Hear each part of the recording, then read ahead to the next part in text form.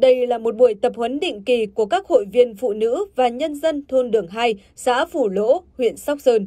Hôm nay, chị Nguyễn Thị Hoài, tri hội phó tri hội phụ nữ thôn Đường 2 đã mang tới rất nhiều các sản phẩm tái chế từ rác hữu cơ được xử lý qua chế phẩm sinh học IMO4 do chính tay chị sáng tạo, hoàn thiện để giới thiệu đến các hội viên.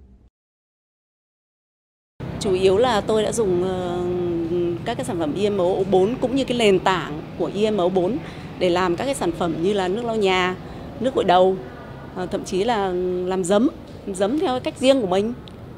Rồi là làm các cái ờ, cái cái xịt ờ, các cái xịt chống muỗi. Sau khi mà sử dụng như thế này ấy, thì rõ ràng là bà con đều nhận thấy một điều là trước đây khi mà không có cái men này để rắc vào ấy thì chỉ có từ sáng đến tối là khi mỗi lần mở cái thùng ra thì nó cái mùi nó rất là khó chịu. Thế nhưng mà từ khi mà chúng tôi đã rắc vào kể cả 3 ngày, 5 ngày nó không có một cái mùi gì hết. Ít ai biết, tất cả những chế phẩm sinh học mà các chị phụ nữ ở thôn Đường 2 đang dùng rất hiệu quả ở đây lại do chính các chị tự mầy mò, chế tạo ngay tại nhà. Chế phẩm sinh học IMO4 có thể làm dễ dàng tại nhà chỉ bằng với những nguyên liệu đơn giản, dễ kiếm như chuối, cám, đường, men rượu.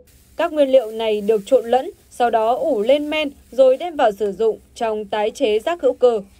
Tôi thấy không khó khăn, ai cũng làm được mà. Đấy, tuổi thì cao này vẫn cứ đi làm bình thường, chẳng có gì là khó khăn. Đâu. Vì lúc chỉ có mấy thứ cái công thức thế thôi là cứ thế là làm.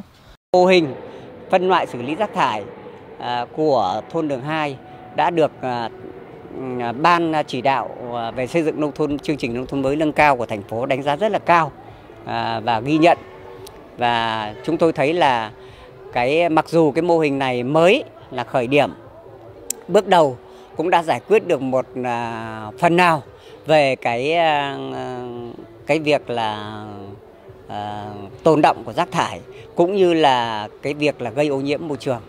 Hình ảnh của thôn Đường 2, Phủ Lỗ, Sóc Sơn ngày hôm nay chính là minh chứng rõ nhất cho sự thành công khi ứng dụng chế phẩm sinh học trong xử lý rác thải, bảo vệ môi trường xanh, sạch đẹp tại địa phương.